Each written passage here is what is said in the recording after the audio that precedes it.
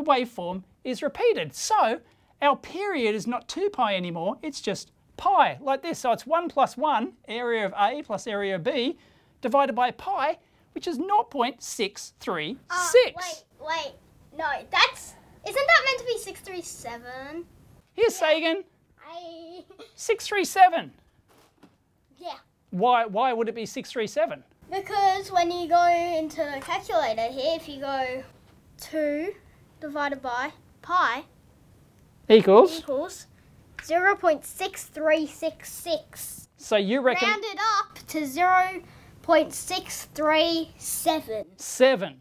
Well, I'm going to say that it's 636 because that's kind of like symmetrical.